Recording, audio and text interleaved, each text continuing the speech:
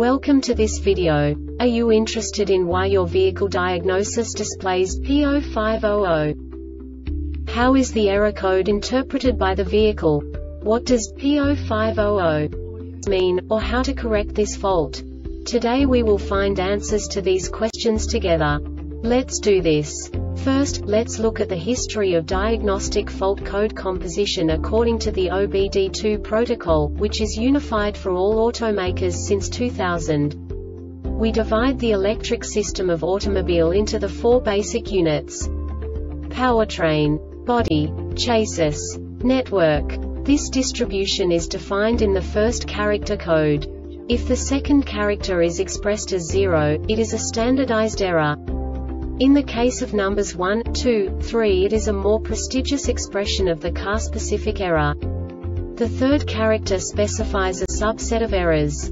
The distribution shown is valid only for the standardized DTC code. Only the last two characters define the specific fault of the group. Let's not forget that such a division is valid only if the other character code is expressed by the number 0. Our website airbagreset.sk produces useful videos for you. You do not have to go through the OBD2 protocol anymore to know how to troubleshoot any car breakdown.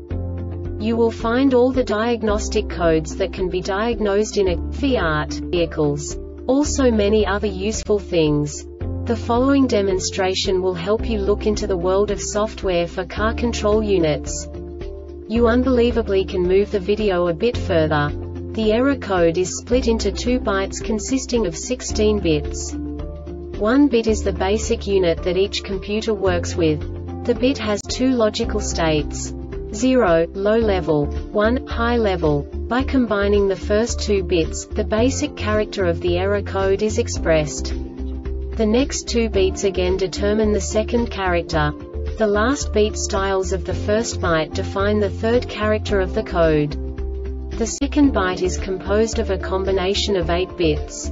The first 4 bits determine the fourth character of the code. And the combination of the last 4 bits defines the fifth character. A single byte conceals 256 possible combinations. We now know in what way the diagnostic tool translates the received information into a more comprehensible format. The number itself does not make sense to us if we cannot assign information about it to what it actually expresses.